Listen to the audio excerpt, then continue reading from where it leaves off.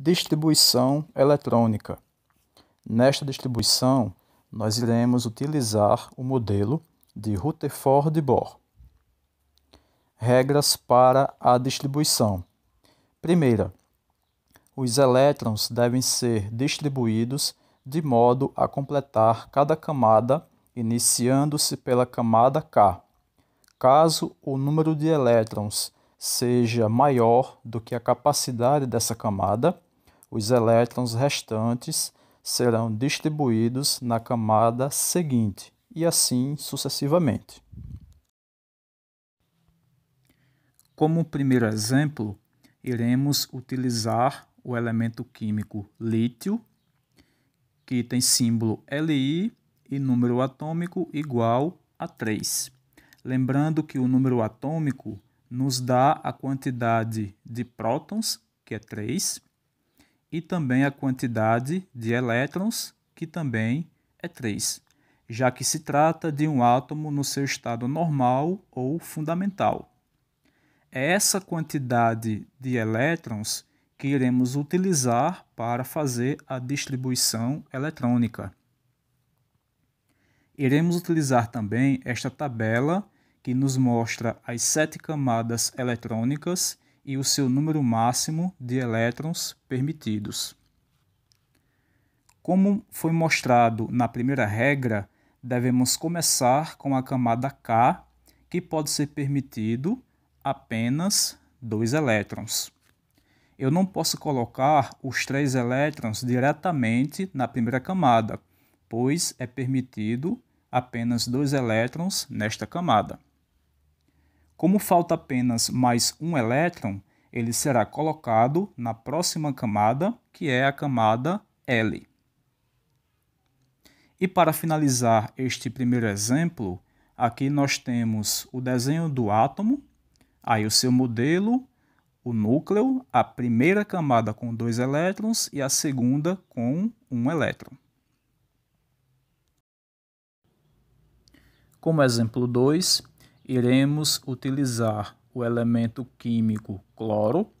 Ele tem símbolo Cl, número atômico 17, e seguindo a mesma analogia do primeiro exemplo, ele tem 17 prótons e também 17 elétrons.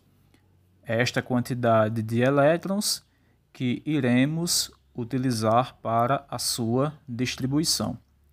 Iremos também utilizar a tabela então vamos lá. Primeira camada K, 2 elétrons. Camada L, cabe no máximo 8 elétrons. Até aí colocamos no total 10 elétrons, faltando 7 para completar os 17, que vai ser colocado na próxima camada M, aí 7 elétrons. Pronto.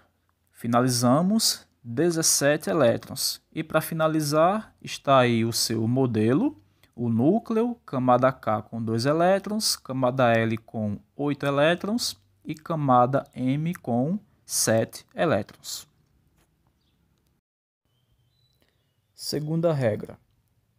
A última camada não pode ter mais do que 8 elétrons. Para exemplificar essa segunda regra, iremos utilizar a representação do elemento químico cálcio. Observem que o cálcio tem número atômico igual a 20.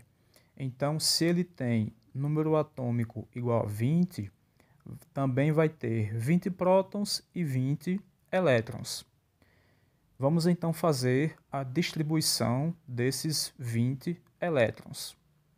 Começando com a camada K, 2 elétrons, camada L com 8 elétrons.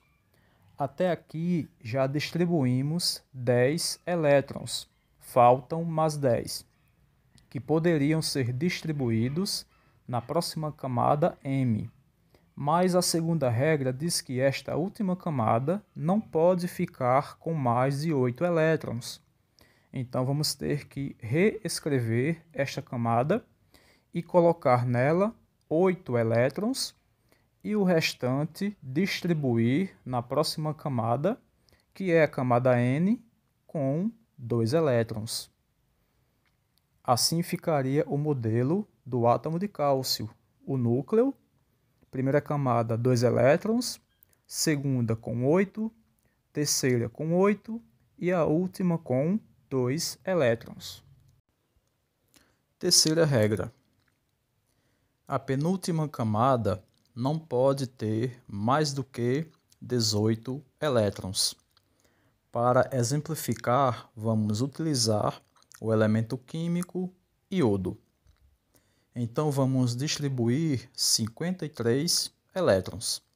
Vamos iniciar com a distribuição das camadas K, L e M.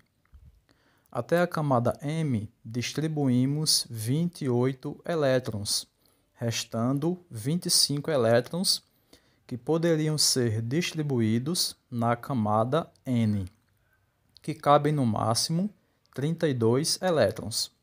Mas a segunda regra diz que a última camada não pode ter mais do que 8 elétrons. Ou se for a penúltima camada, não pode conter mais do que 18 elétrons.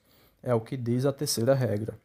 Então, nessa camada N, colocamos 18 elétrons e os outros 7 na camada O. Assim ficaria o modelo atômico do iodo. Camada K, 2 elétrons, L, 8, M, 18, N, 18 e O, 7. Até a próxima aula.